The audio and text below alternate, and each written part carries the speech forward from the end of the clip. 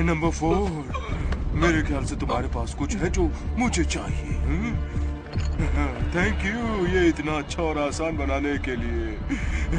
कितनी जल्दी हम खत्म कर देंगे बाकी के प्लेनेट को। ये फैंटास्टिक होगा। तुम जो होने वाला है उसे रोक नहीं सकते। तुम कभी कर नहीं सकते ये। नहीं। तुम ऐसा कभी नहीं कर सकते। कभी नहीं अंदाज़ा नहीं कर सकते तुम। मैं क्या कर सकता हूँ?